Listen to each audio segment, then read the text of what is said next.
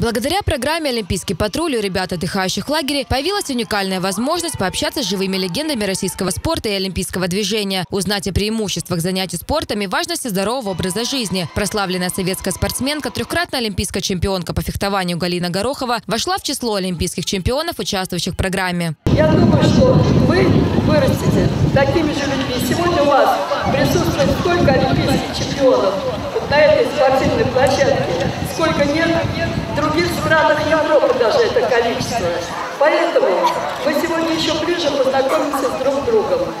А наша задача состоит в том, чтобы вы полюбили спорт, физическую культуру и занимались постоянно ими. После официальной церемонии открытия программы «Олимпийский патруль» известные спортсмены на олимпийских уроках ответили на все вопросы, интересующие детей, вспомнили громкие победы отечественного спорта, включая самые яркие моменты прошедших Олимпийских зимних игр в Сочи. Какой-то опыт наш, пускай они возьмут, а все-таки это очень хорошо для характера. И дальше, наверное, занятия спортом все равно какие-то ситуации им очень помогут в жизни. Это уже как бы мы знаем, поверьте, на своем опыте. Поэтому мы пытаемся до детей донести, э, привить любовь к спорту, занятия спортом. На встрече с ребятами олимпийские чемпионы пожелали каждому выбрать для себя вид спорта и попробовать увлечься им. Не только для достижения больших успехов. Спортивные занятия очень важны для здоровья, физических и умственных способностей. Олимпийский патруль посетит и другие детские центры. Всего участниками программы станут более 14 тысяч мальчишек и девчонок, отдыхающих в лагерях России.